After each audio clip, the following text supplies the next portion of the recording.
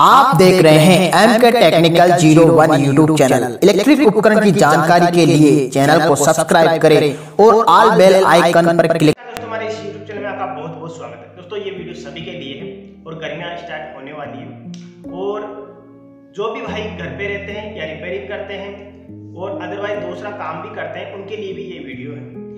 दोस्तों गर्मियाँ स्टार्ट होती है तो हम सबसे पहले सीलिंग फ़ैन को चलाते हैं ना कि कोई ऐसी चलाते हैं। तो सीलिंग फ़ैन को हम चलाते हैं तो दोस्तों कई बार क्या होता है कि जो सीलिंग फ़ैन का जो बोल्ट है, वो कट जाता है। तो कटने के कारण सीलिंग फ़ैन है, वो नीचे गिर जाता है। तो जब भी हम सीलिंग फ़ैन को चलाओ तो एक बार अपने सीलिंग फ़ैन का जो बोल्ट है, वो एक बार ज़रूर चेक कीजिएगा, क्योंकि उस बोल्ट के कारण हादसा हो जाता है। चलते चलते सीलिंग फ़ैन बहुत सारे सीलिंग फ़ैन हैं, वो गिर गए हैं। क्यों? क्योंकि वो बोल्ट है, वो कट चुका था। तो आप एक बार ज़रूर मेरे कहने से अपना सीलिंग फ़ैन को ज़रूर चेक कीजिएगा, क्योंकि सीलिंग फ़ैन का जो बोल्ट है वो अगर कटा हुआ है तो आप तुरंत से चेंज कर दीजिए।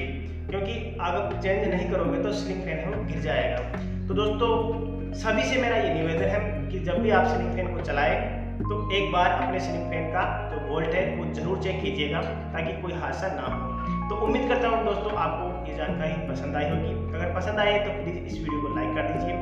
और दोस्तों, एक बात ज़रूर मैं फिर से आपको कहना चाहूँगा, आप अपने सिम को एक बार ज़रूर चेक कीजिएगा। जो लहरा के चलते उन्हें तो विशेष तौर से आपको चेक करना है, क्योंकि लहराने वाले जो सिलिंग फ़ैन है, वो बोल्ट को काट देते हैं। तो दोस्तों, मिलते हैं नेक्स्ट वीडियो में, तब तक के लिए नमस्कार।